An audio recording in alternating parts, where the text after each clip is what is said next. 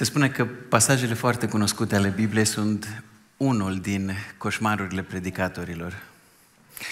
Pentru că au senzația că nu mai este nimic nou de spus, ascultătorii știu deja textul, predicatorii au coșmar și ascultătorii dorm bine.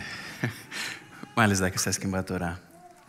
Și în această categorie intră textele din Evanghelii despre nașterea Domnului Isus, despre moarte, despre învierea Lui și texte ca acesta de astăzi, lupta dintre David și Goliat. Acesta cred că este cel mai cunoscut pasaj al cărții 1 și 2 Samuel, e renumit chiar și în afara mediului iudeo-creștin. Considerat o legendă, cel mic care îl învinge pe cel mare. Și narațiunea e foarte îndrăgită, mai ales în interiorul bisericii. N-am văzut până acum nicio Biblie ilustrată pentru copii care să nu conțină această narațiune. Într-o oarecare măsură, dar mai într-o anumită măsură, înțeleg dificultatea apropierii de un text cunoscut. Dar ce mă îngrijorează pe mine nu este faptul că toți știm acest text. Eu mă bucur că știm acest text. Ce mă îngrijorează pe mine e folclorul care s-a adunat în jurul lui. Lucrurile străine de acest text care au fost impuse sau care au fost acceptate foarte ușor, superficial, au fost lăsate să fie considerate interpretări corecte ale acestui text. Și probabil că o mare parte din folclorul care e asociat cu acest text are de-a face cu dorința predicatorilor sau a scriitorilor creștini de a fi originali. De a fi original, dar în detrimentul încrederii că Duhul Sfânt poate lua aceleași cuvinte pe care le-a rostit altă dată și să le folosească într-un nou, într-un nou mod, proaspăt pentru noi în viața noastră. Așa că ce vă propun eu e să profităm de faptul că avem în fața noastră un text cunoscut. Ca să fim mai atenți în același timp și la, medul, la modul în care ar trebui să ascultăm o predică. Eu chiar vă încurajez să discutați despre predică. Și cred că a asculta corect o predică trece dincolo de a spune mi-a plăcut sau nu mi-a plăcut. Asta mi-a plăcut, asta n-a fost fain deloc. În acest an, noi vom studia doar texte din Vechiul Testament. 1 și 2 Samuel și între ele psalmii cu context istoric dat. Dar bătălia pastoral misionară a bisericii noastre este luată din Marea Trimitere, din Noul Testament, din Evanghelia după Matei prin puterea lui Hristos să fim și să facem ucenici asemenea lui. Așa că, în permanență, noi o să trebuiască să facem legătura între Vechiul și Noul Testament, între atunci și acum, între ei și noi, viața noastră de fiecare zi. Și, de fapt, grila de evaluare a predicii pe care vă invit să o folosiți este contribuția lucrării de predicare la realizarea bătăliei pastoral misionare. Ne dorim ca prin predicile de duminică dimineața, fiecare dintre noi să fie ajutat și încurajat să aplice Evanghelia la viața lui. Ce înseamnă asta sau ce înseamnă în termeni personal? Mi-aș dori ca după fiecare întâlnire de duminică dimineața fiecare dintre noi să poată merge acasă și să aibă răspunsuri personale pentru aceste afirmații, să le completeze în mod personal. Primul rând, am înțeles că mesajul acestui text este următorul. Despre asta vorbește textul. Asta e primul lucru, cel mai important. Și apoi, pentru că noi suntem în Vechiul Testament, dar vrem să fim și să facem ucenicii lui Hristos, să putem spune drumul legitim spre Isus Hristos din acest text este următorul. Așa ajung la Hristos. Așa îl anunță, așa mi-l arată acest text pe Isus Hristos. Apoi, dacă ne gândim la noi, să trăiesc astăzi ca ucenica lui Hristos în lumina acestui text înseamnă să... Și avem un răspuns. Ce înseamnă pentru mine să trăiesc ca ucenica lui Hristos? Al celui pe care l-am descoperit în Scriptură. Și apoi să ne uităm la acest text și să ne întrebăm, în ce fel am fost echipat și încurajat pentru mărturie, să vorbesc despre cel pe care îl urmez. În ce fel îi pot încuraja și pe alții să-l urmeze pe el? Dacă fiecare dintre noi are răspunsuri personale la aceste afirmații, și apoi le discutăm fie acasă, în familie, fie în grupul mic, eu cred că am câștigat din acest timp pe care l-am petrecut împreună. Așadar, 1 Samuel 17, în cuvintele lui David, lupta este a Domnului. Lupta este a Domnului. Pentru început, haideți să vedem locul acestui pasaj în carte. Victoria lui David asupra lui Goliat este confirmarea că Dumnezeu l-a respins pe Saul și locul lui l-a ales pe David. Și dacă în capitolul anterior ni s-a spus doar că Duhul Sfânt a coborât peste David, că muzica lui îi făcea bine regelui respins. De această dată vedem ce a însemnat coborârea Duhului Sfânt pentru David, dar în folosul întregului popor. Pentru că toți beneficiază în urma coborârii și în urma lucrării Duhului Sfânt prin David. Întregul popor este câștigat. În contextul Scripturii, asistăm la o nouă confruntare, la o nouă luptă între reprezentantul seminței șarpelui și reprezentantul poporului lui Dumnezeu. O nouă confruntare. Și biruința, victoria lui David, anticipează biruința lui Isus Hristos asupra morții și asupra păcatului. O biruință care este atribuită prin credință tuturor celor care cred în El. Victoria lui Isus este victoria tuturor ucenicilor Lui. Pentru că atât în moarte cât și în viață, noi intrăm prin reprezentanții noștri. Apostolul Pavel ne spune, în moarte, în păcat, am intrat prin reprezentantul nostru, prin Adam. În viață, în viața veșnică, intrăm prin Isus Hristos. Jertfa Lui, lucrarea Lui a dus o decizie de iertare, o invitație la viață veșnică pentru noi toți.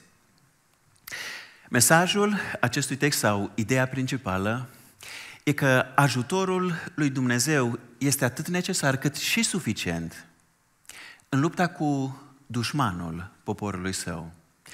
Ce înseamnă acest ajutor pentru noi, ce înseamnă acest dușman pentru noi astăzi, o să vedem în cele ce urmează. Haideți să ne uităm mai întâi la text. Filistenii și-au strâns trupele pentru război.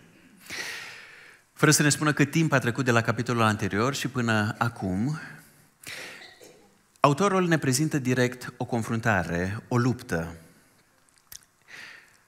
Și pe hartă avem locurile menționate de text. Este Azeca și Sucot în partea de mijloc. Și aici este Gad, undeva la vreo 10 km de câmpul de luptă, era localitatea natală a lui Goliat. În partea cealaltă era Betlemul, la vreo 20 de kilometri de câmpul de luptă. Filistenii și-au strâns trupele pentru război. Ei s-au strâns la Soco, care aparține de Iuda, și și-au așezat tabăra între Soco și Azeca, la Efes Damim. Saul, împreună cu bărbații lui Israel, s-au strâns și și-au așezat tabăra în Valea Ela. Ei s-au așezat în linie de bătaie ca să-i înfrunte pe filisteni. Filistenii stăteau pe un deal, deoparte, iar Israel stătea pe un alt deal, de cealaltă parte, între ei aflându-se o vale. O vale. Și conflictul este declanșat de, asta e Valea Ela în vremurile bune, când e verde, și conflictul este declanșat de cererea lui Goliat. Alegeți-vă un bărbat care să coboare la mine, să coboare în vale. Un reprezentant pentru o luptă unul la unul pe viață și pe moarte. De ce ați ieșit și v-ați aliniat pentru luptă? Oare nu sunt eu filistian? Nu sunteți voi slujitorii lui Saul? Alegeți-vă un bărbat care să coboare la mine. Dacă va fi în stare să lupte cu mine și să mă ucidă, atunci noi vom deveni slujitorii voștri. Dacă însă eu îl voi învinge și îl voi ucide, atunci voi veți deveni slujitorii noștri și ne veți sluji. Apoi filisteanul a zis, jocoresc în ziua aceasta trupele lui Israel. Dați-mi un bărbat cu care să mă lupt. Goliat e deschis ca un viteaz, un războinic sau un campion. Și o traducere mai literară ar fi omul din mijloc sau omul dintre cele două. În acest context, omul care vine între cele două armate, reprezentantul care este dispus să lupte pentru una dintre ele. Și alegerea lui face evidentă nevoia din cealaltă tabără. Un reprezentant, un oponent pe măsura lui Goliat. Și propunerea lui e o alternativă la confruntarea armatelor. Nu era obligatorie, dar, repetându-se chemarea lui, nimeni neavând curajul să vină, toți soldații lui Israel erau umiliți, pentru că niciunul dintre ei nu, nu îndrăznea. Și în felul acesta, în tab- întreaga tabără a filistenilor avea un avantaj moral uriaș, pentru că vedea spaima din tabăra evreilor.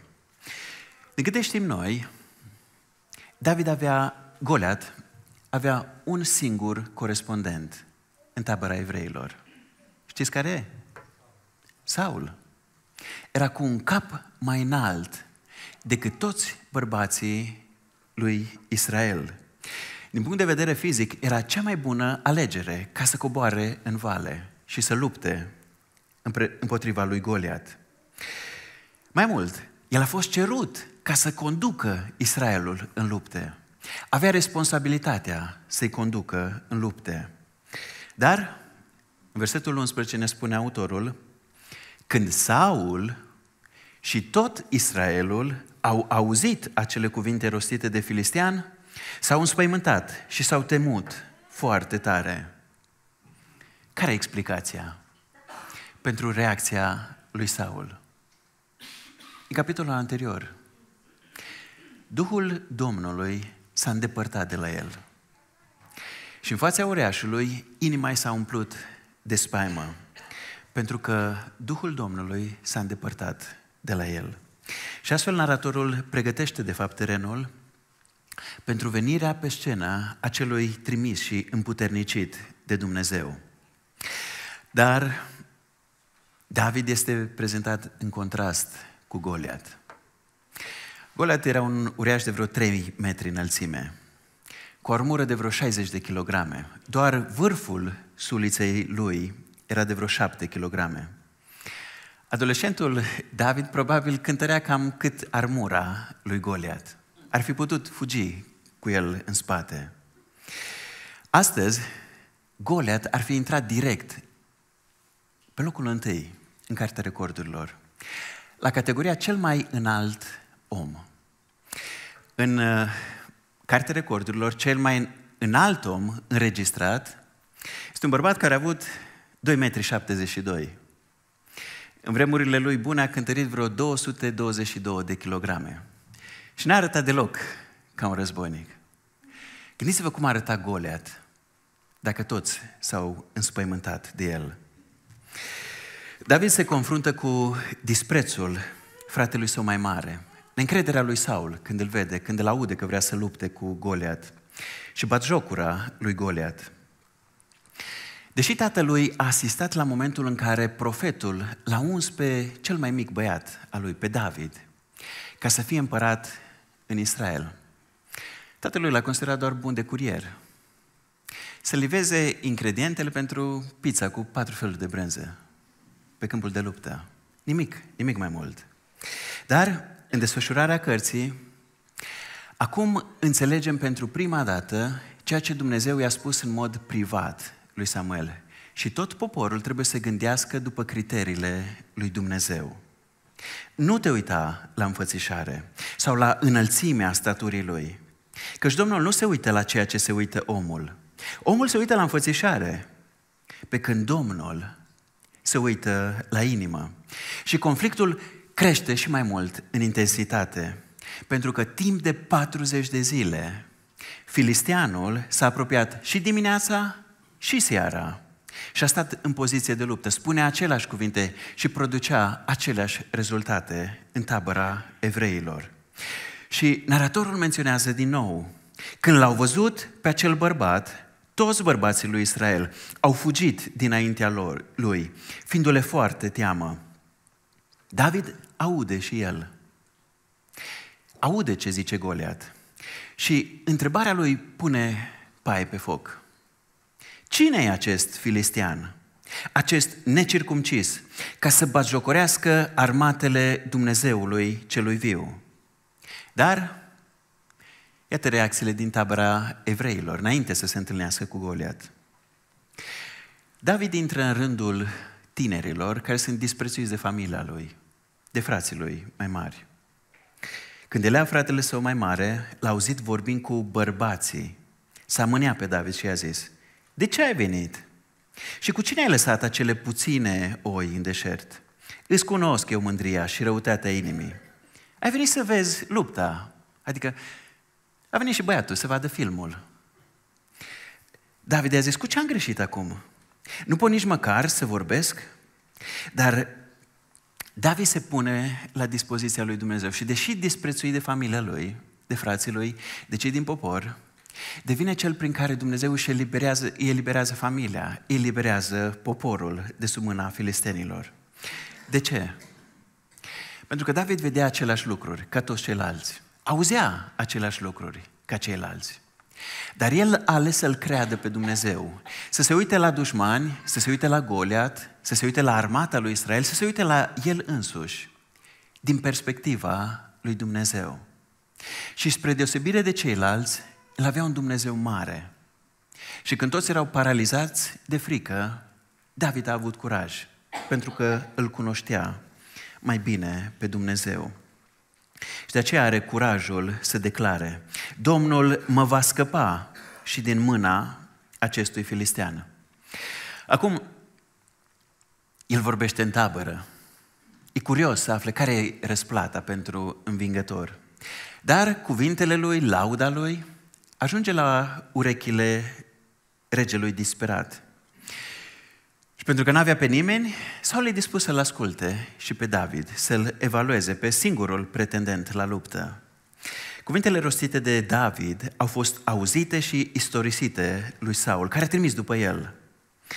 Și prin contrastul pe care îl creează între David și ceilalți, autorul nu ne invită doar să-l comparăm pe David cu Goliat, și pe David cu toți bărbații din Israel. Cu toți bărbații din Israel, inclusiv cu Saul. Dacă ținem cont de faptul că bărbații participau la luptă după 20 de ani, faptul că David n-a fost convocat, că nu era prezent acolo, înseamnă că era sub, că era un adolescent, era sub această vârstă. Și neîncrederea lui Saul este de înțeles știe pe cine are în față sau vede din prima pe cine are în față. Dar neîncrederea lui Saul e depășită numai prin mărturia plină de credință a tânărului păstor. Saul le-a zis lui, Saul, lui David, nu poți să mergi împotriva acestui filistean ca să te lupți cu el, fiindcă tu ești doar un tinerel, pe când el este un războinic încă din tinerețea lui. Dar David i-a zis lui Saul, slujitorul tău era păstor la turma tatălui său. Când venea un leu sau un urs și lua o oaie, îl apucam de coamă și loveam până l omoram. Slujitorul tău a omorât și leul și ursul, iar cu filisteanul acesta, cu acest necircumcis, va fi ca și cu unul dintre ei, pentru că a batjocorit armatele Dumnezeului celui viu. Vă rog să observați, David nu s-a lăudat pe sine, l-a lăudat pe Dumnezeul lui. Domnul care m-a scăpat din laba leului și a ursului, mă va scăpa și din mâna acestui filistean.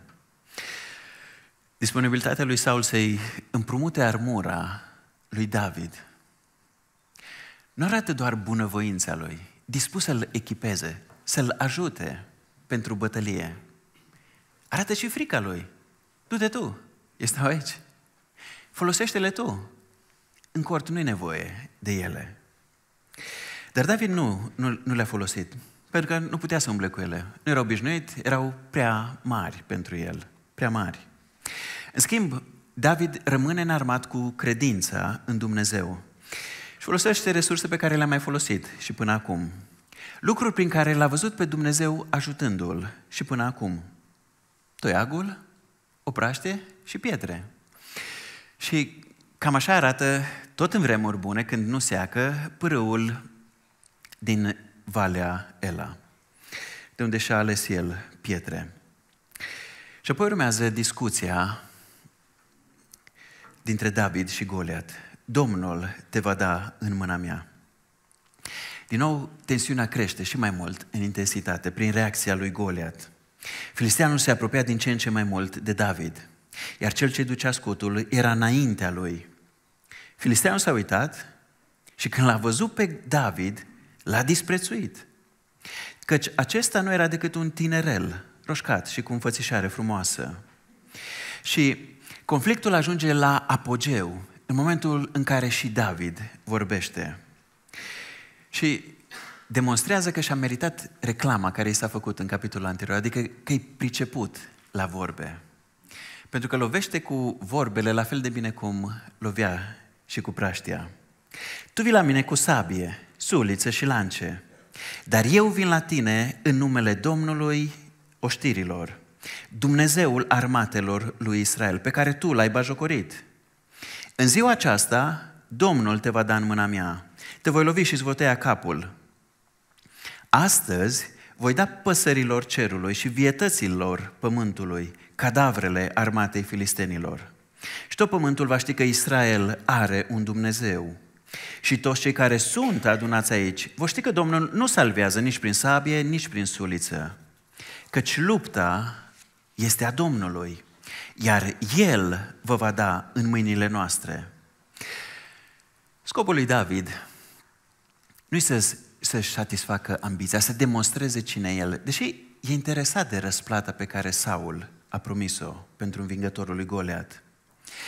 Cea mai înaltă preocupare a lui este pentru Dumnezeul lui Israel, pentru onoarea lui Dumnezeu. Și să le arate tuturor că Dumnezeu salvează, mântuiește, dar nu prin sabie.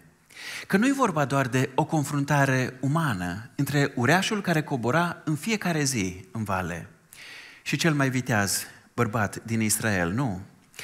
Dialogul dintre David și Goliat dezvăluie dimensiunea spirituală a luptei, că este o confruntare între Dumnezeii celor două armate.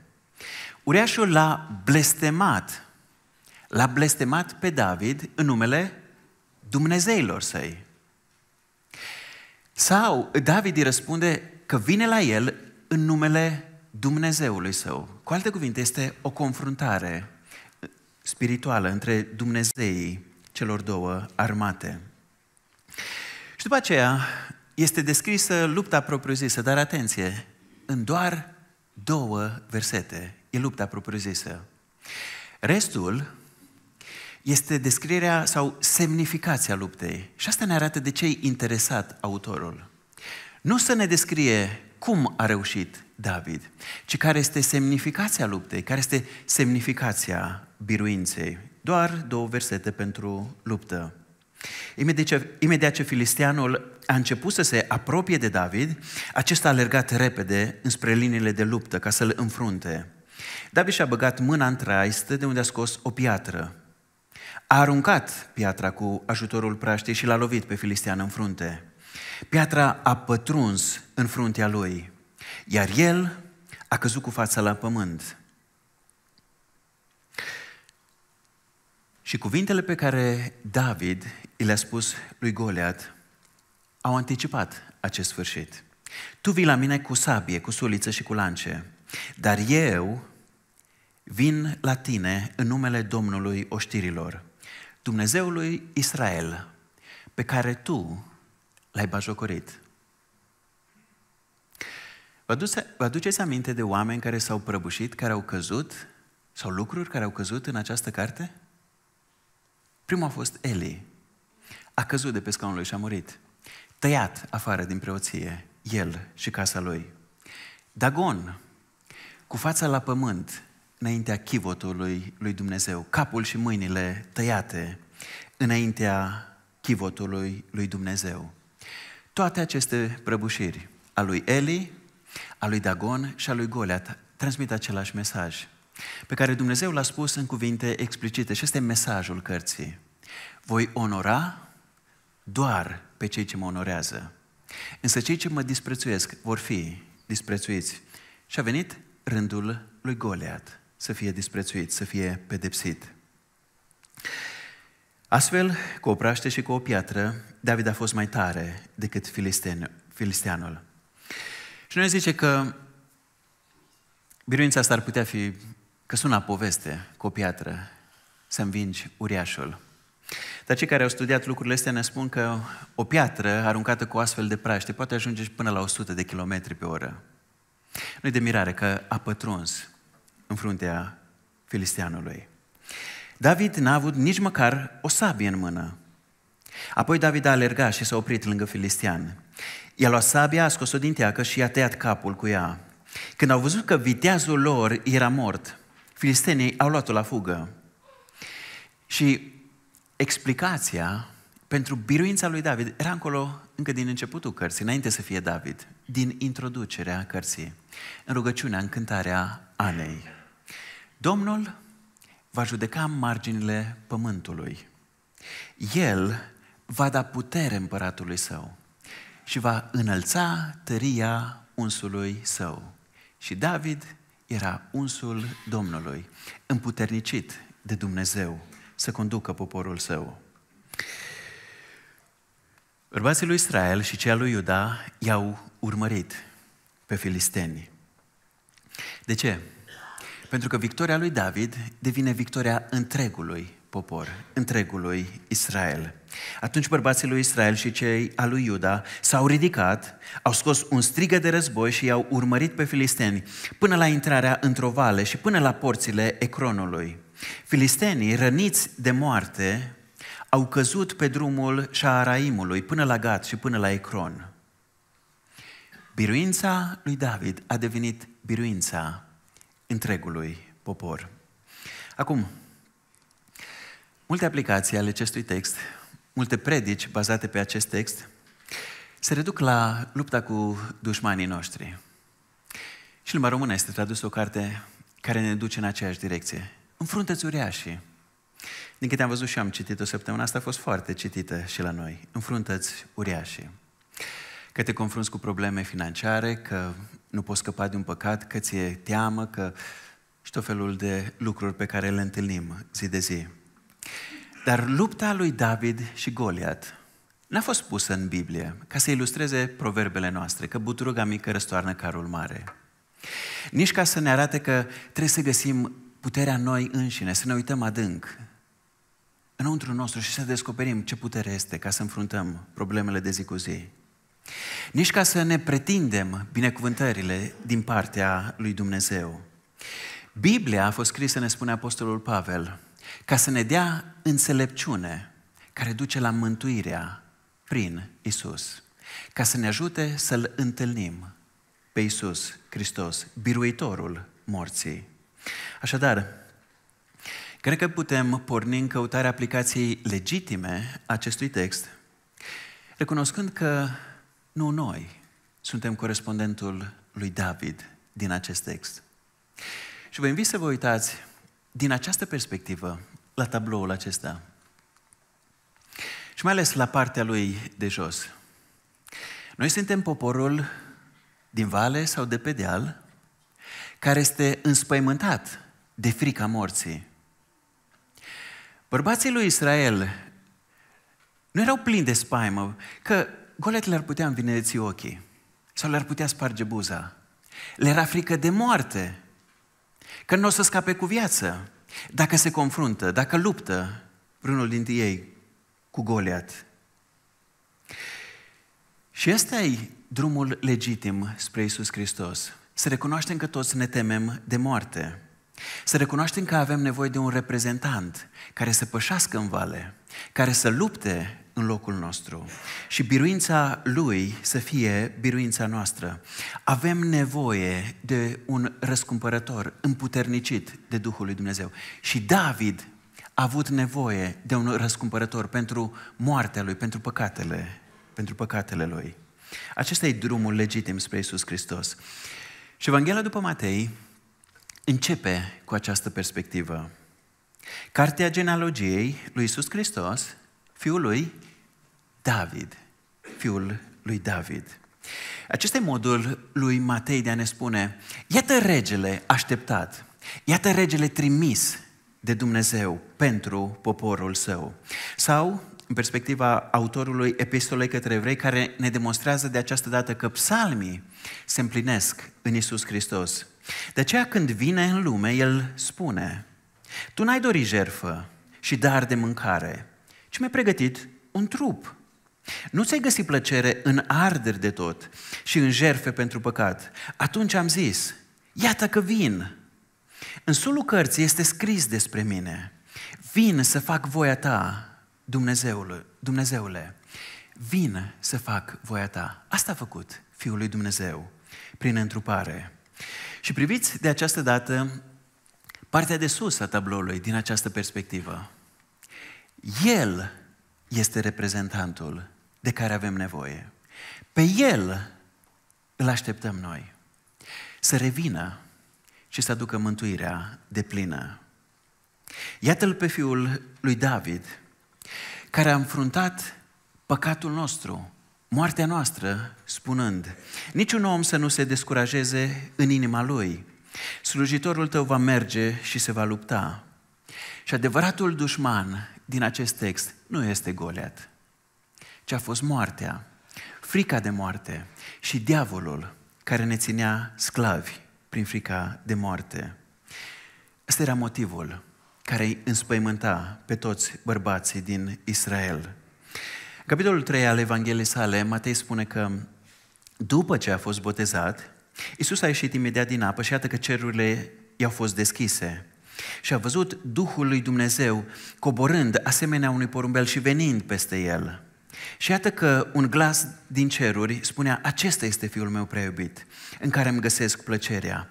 Adică, asemenea lui David, Isus este regele trimis de Dumnezeu, alesul lui Dumnezeu, împuternicit cu Duhul Sfânt pentru misiunea pe care o are de îndeplinit. Și prima lui confruntare este cu diavolul, în pustie, el singur cu diavolul. Și în încheierea Evangheliei, el declară de pe un munte, toată autoritatea mi-a fost dată și în cer și pe pământ. Și această autoritate a fost câștigată prin cruce. Pentru că Hristosul răstignit este puterea lui Dumnezeu, înțelepciunea lui Dumnezeu pentru cei care cred. Crucea este locul unde Hristos a câștigat biruința cu păcatele noastre, biruința cu moartea, învingându-le și victoria lui este victoria tuturor celor care cred în el. Iată ce spune Apostolul Pavel în Coloseni. Pe voi care erați morți în nelegiurile voastre și în firea voastră pământească necircumcisă, Dumnezeu v-a adus la viață împreună cu Hristos, când ne-a iertat toate nelegiurile. El a șters ceea ce era împotriva noastră, înscrisul cu regulile Lui, care ne era ostil și l-a îndepărtat, pironindu-l pe cruce, a dezbrăcat de putere conducerile și autoritățile și de a, le-a făcut de rușine în văzul tuturor, triumfând asupra lor prin cruce. Din perspectivă biblică, nu noi intrăm în păpucii lui David, în rolul lui, ci Iisus Hristos intră în rolul lui. Tim Keller spune, Iisus este adevăratul David, al cărui biruință devine biruința poporului său, deși poporul l-a mișcat un deget ca să o câștige. Un deget ca să o câștige.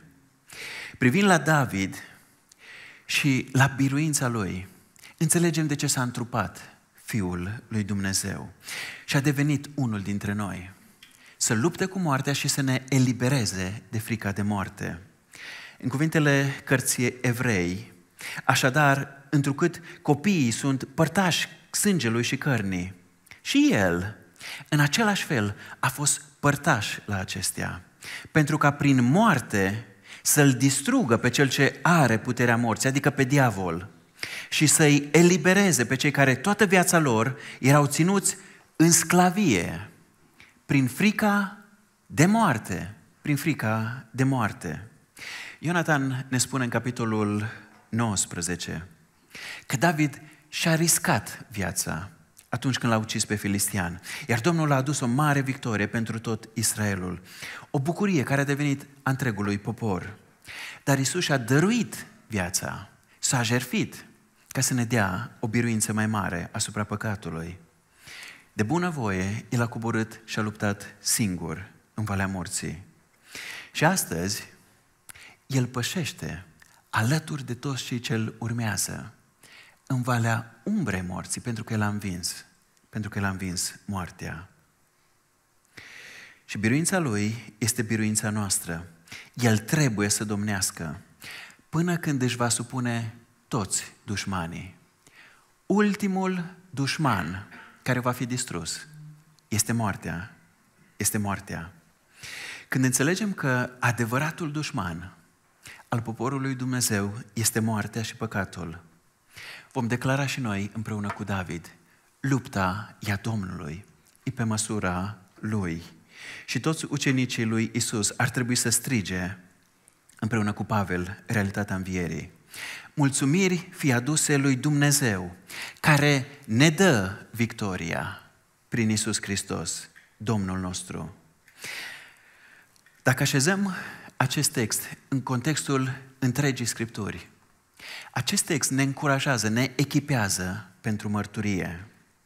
Pentru că ne vorbește despre biruitorul morții într-o lume în care toți murim, în care toți ne temem de moarte, în care toți am pierdut pe cineva drag și ne doare pierderea persoanei dragi. Uitați-vă ce face David. Tuturor celor pe care îi întâlnește, el le spune despre Dumnezeul lui. Armatei paralizate a lui Israel, regelui înspăimântat, Saul, și arogantului Goliat. El le vorbește despre Dumnezeul lui, care îi poate da biruința. Și Scriptura ne cheamă și pe noi să vorbim despre singurul biruitor al morții în lumea noastră, distrusă de păcat și de moarte. Să vorbim despre Isus Hristos. Și asta înseamnă să trăiesc, să trăim ca ucenicii lui Hristos. Să-L urmăm, să vorbim despre El, să-i ajutăm și pe alții să-L urmeze pe El, pentru că toți avem nevoie de El. În fața morții, toți avem aceleași probleme. Ne temem de moarte. Ne doare când moartea ne ia pe cineva drag. Dar dacă îl urmăm pe Isus, avem motive să punem nădejde lângă durerea noastră, lângă teama noastră. Faptul că Isus a înviat, faptul că Isus ne face promisiuni, că ne garantează învierea prin credința în El. Astea sunt motive ca să punem nădejde lângă durerea și teama noastră. Ce ar fi toate înmormântările la care am fost sau la care urmează să mergem? Dacă învierea lui Isus n-ar fi o realitate, ce-ar fi pierderea celor dragi, fără nădejdea revederii prin Isus Hristos? Și doar Dumnezeu ne poate oferi acea sărbătoare a revederii în prezența Lui. Pentru că Fiul Său a biruit moartea, a biruit, a biruit moartea. Cel mai încurajator lucru pe care îl știu în fața morții e că ucenicul lui Isus nu înfruntă moartea de unul singur, ci merge alături de singurul care deja a biruit moartea, alături de Isus Hristos. Nici în fața morții nu ne lasă singuri, pentru că a fost deja acolo și a învins-o. Hristos a înviat. M-aș fi bucurat textul ăsta să fie și de Paștele pe care îl sărbătorim noi, dar realitatea asta e zilnică. Aș putea încheia predica aici. Dar declararea credinței noastre în învierea lui Isus Hristos din morți este momentul critic din toate discuțiile noastre cu cei care nu cred în El, care nu cred în învierea Lui. Pentru că vorbind despre Isus, vei fi respins pe orice stradă vrei din Cluj. Vei fi respins, poate chiar de cei din casa ta. Așa că e folositor să ne aducem aminte că El însuși a fost respins. De când a fost tânăr și a început să vorbească în sinagoga din Nazaret, localitatea în care a crescut. Dar nu doar ei l-au respins pe Isus. Fiecare dintre noi știe ce înseamnă amânarea sau disprețuirea alesului lui Dumnezeu, deși El a venit să lupte în locul nostru. Și aceleași îndoieli care au fost auzite de când a fost în mijlocul nostru întrupat pe pământ, sunt auzite și vor fi auzite mereu și mereu. Cine a spus că eu am nevoie de eliberare pe care El vine să o ofere? Eu sunt stăpân pe viața mea. Eu fac ce vreau eu. N-am nevoie de regulile Lui sau de legile Lui. Ce te face să crezi că eu am nevoie de îndurarea lui Dumnezeu? Că trebuie să-i cer eu iertare lui Dumnezeu? Chiar crezi că rezolvarea problemelor mele, ale familiei mele, depinde de un întâmplar care a trăit în urmă cu 2000 de ani în Nazaret? Da. Da. Pentru că știm și noi ce critici sunt aduse la adresa lui Isus. Știm și noi că a murit pe cruce ca un om slab, ca un sclav pe cruce. Dar El s-a făcut slab pentru noi, ca noi să devenim tari. A murit pentru păcatele noastre. Dar pentru cei chemați, atât iudei cât și greci, Hristos este puterea lui Dumnezeu și înțelepciunea lui Dumnezeu. Căci nebunia lui Dumnezeu este mai înțeleaptă decât oamenii și slăbiciunea lui Dumnezeu este mai puternică decât oamenii. Și în momentele în care ești respins, vorbind despre Isus, trebuie să te decizi. Vei lupta pentru tine și onoarea ta sau pentru onoarea lui Dumnezeu? Ca să te afirmi pe tine sau ca să afirmi, să demonstrezi Evanghelia Lui? Îți vei păstra convingerea că singura biruință asupra morții este în crucea lui Isus, în învierea Lui. Te vei încrede că păstorul ce bun va fi cu tine în toate zilele, mereu, chiar și în valea umbrei morții. Vei păstra în inima ta promisiunile Lui? În fața unui mormânt, El a spus, eu sunt învierea și viața. Cel ce crede în mine va trăi, chiar dacă moare. Și oricine trăiește și crede în mine, nu va muri niciodată. Crezi lucrul acesta? Într-o altă discuție din capitolul 5, el ne spune că vine ceasul când el va striga și toți morții vor auzi glasul lui. Și a lui vor, urmașii lui vor învia pentru viața veșnică, vor intra în viața veșnică.